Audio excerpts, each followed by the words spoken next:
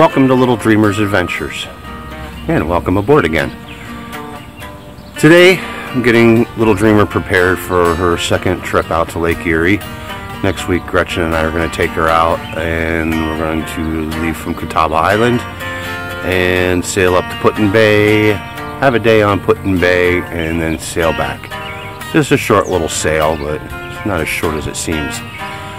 Um, of the preparations I have to do today include uh, checking the lights, make sure the lights are working, make sure the radio's working. Last time we pulled the mast down, I forgot to unhook the antenna cable and rip to the end out, so I'm going to put that back on. But uh, most importantly um, is installing a new toy. I wouldn't exactly call it a toy, but uh, last year I found that um, with my trip out there that I was stuck to the tiller for four hours straight. Um, it wasn't a horrible situation, but um, it was kind of a rear, pain in the rear. Like if I wanted to get something to drink and run down below, um, I had to tie a rope to the tiller, run down, come back as fast as I could, and uh, I banged myself up pretty good doing that a couple times, all in a hurry. So by the time I get back, the uh, boat was off course by quite a bit. And when you're going to the wind, you really don't want to be getting off course because you could end up sideways into the wind with your full sails out and then on your side if you don't have time to adjust your sails. So to remedy that problem this year I bought this. This is uh, Raymarine ST1000 Plus Auto Tiller and today we're going to install this. Um, I'll go through it step by step um, and uh, we'll start by let's throw this out we don't need this right nope actually, this is really important. You do need the instructions on this.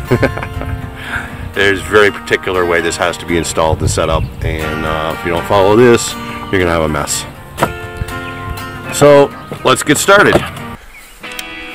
Okay, first thing we need to do is to measure out 18 inches from the center of the rudder pivot point. So our rubber pivot point is right here. Pretty much right in the middle of this knot here is the rubber, rudder pivot, point. So we're going to mark out 18 inches in the center.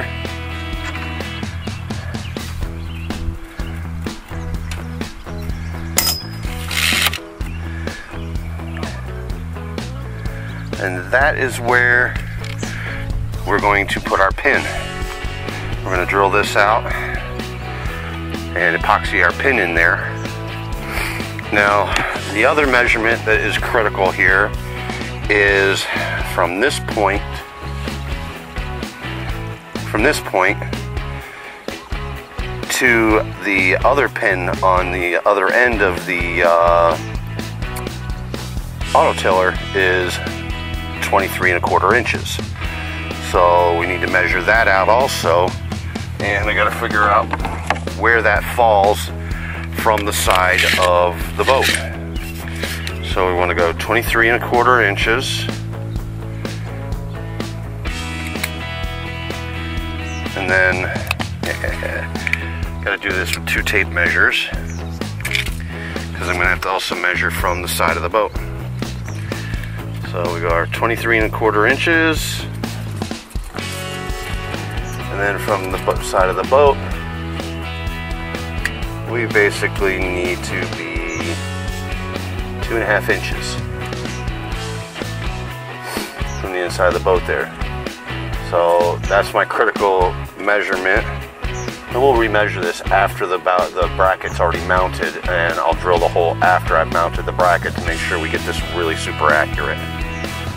So other problem we have here is off the top of the boat um, to the top of this because the uh, edge of the boat's lower.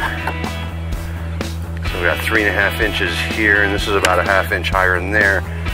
So our bracket's going to have to be about four inches off the top of the uh,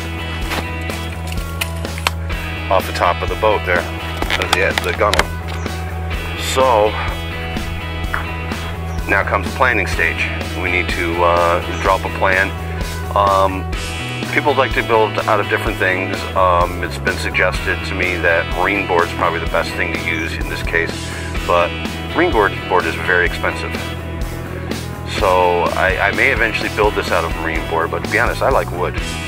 I, I like the look of wood, and um, although this wood needs to be sanded and refinished, and that might be something to do over the winter, I'll probably take some of the wood off this winter and redo it and get her all cleaned up so the next season we have real pretty wood on here. Um, so that's what I'm going to make it out of. I like to start out by drawing up a plan of my project, as I've done here.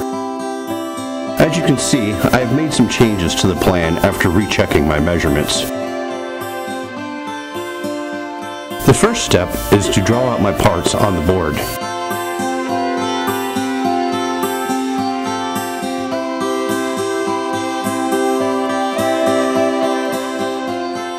Remember, measure twice, cut once.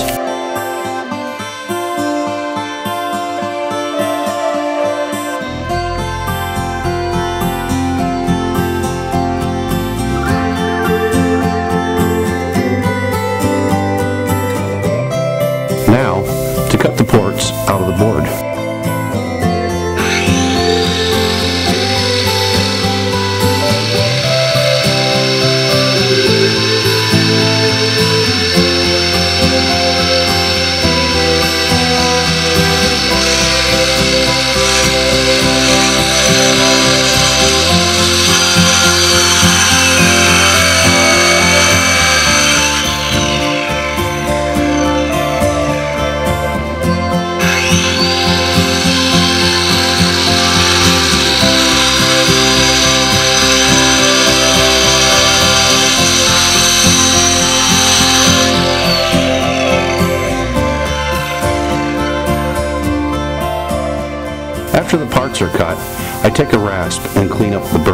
The edges.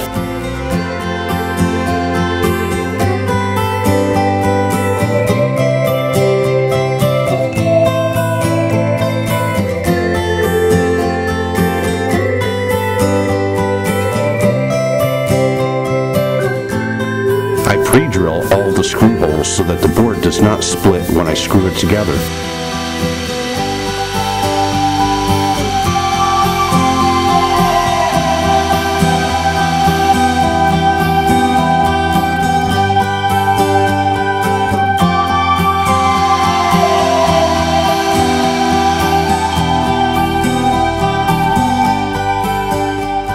Screw the braces to the backing.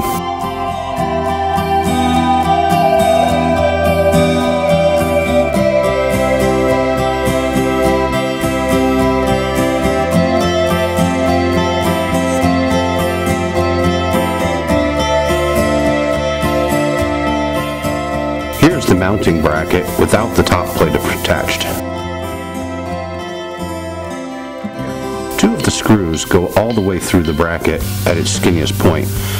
So I take a hacksaw and cut them off flush.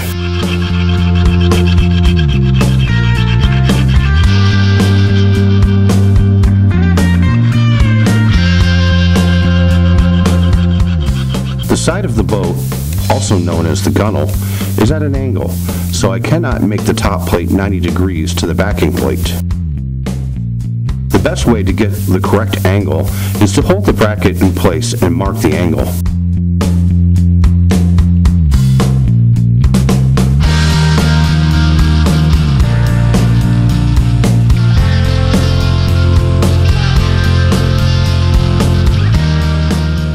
Back at the garage, I use a sawzall to cut the angle for the top plate.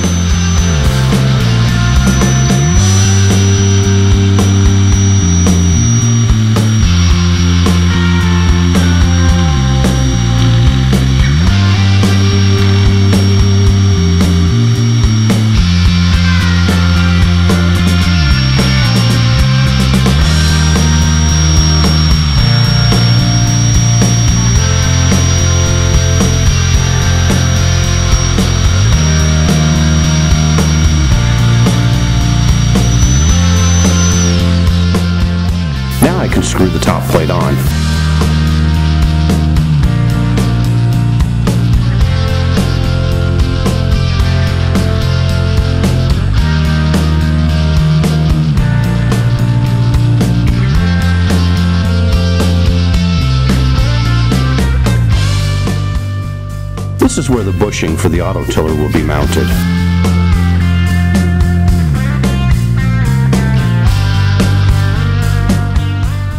Before mounting the bracket, I'm going to lay out the holes for the mounting screws and drill them out.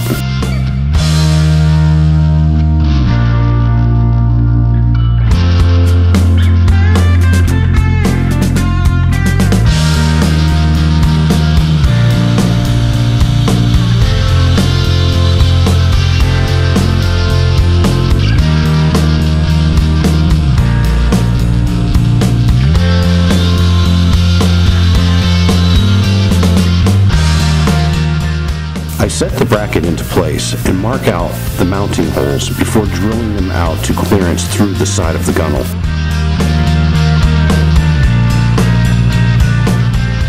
I drill out the top two holes so that I can see where the bracket will be from the inside.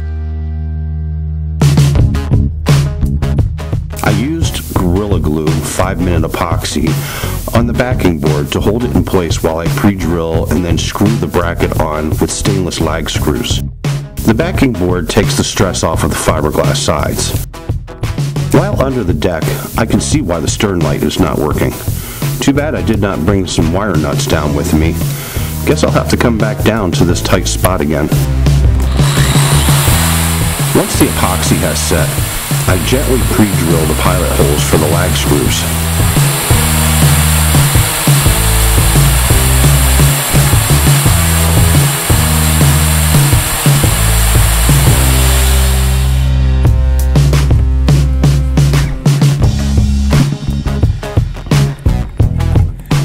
Then bolt the top two screws up.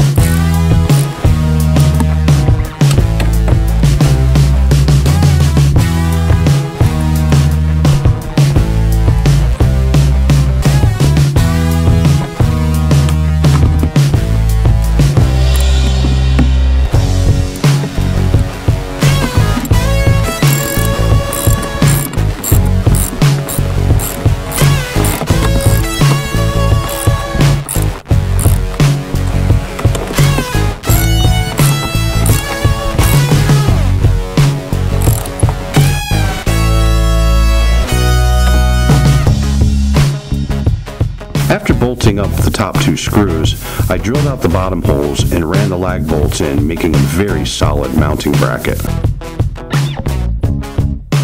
Now that the bracket is mounted, I use my 2-foot square to mark where to put the brass bushing.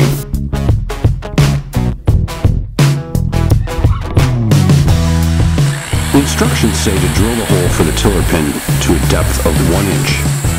I put tape on the drill bit to help me to gauge the depth of the hole.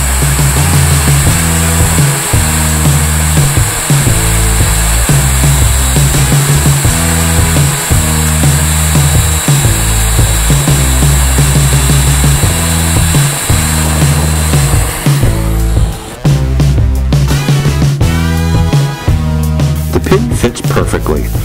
I will epoxy it in before putting the auto tiller on it.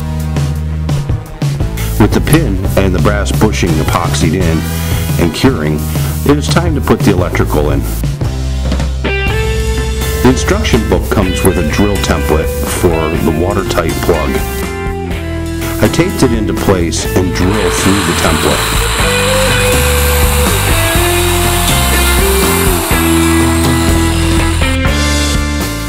Next, I ran the wire through the center hole and connected it to the plug. Important to connect to the proper pins. There is a notch in the plug and the instructions show the pins in relation to the notch. I only need the power pins for this installation.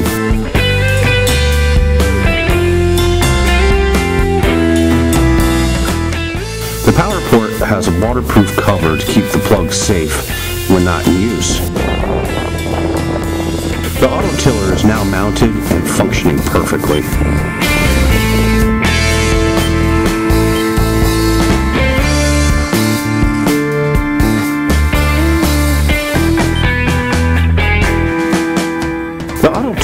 Simply by getting on your course, then pressing auto.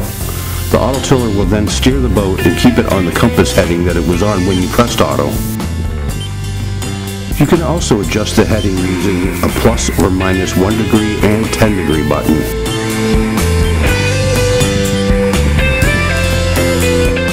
I will need to calibrate it later by taking the boat in a circle that takes approximately 3 minutes. Right now the tiller is off by about 10 degrees. I did get the lights fixed, and with the auto tiller installed, we are ready for our Lake Erie trip next week. Thank you for watching Little Dreamers Adventures. Please subscribe to our channel and keep watching for more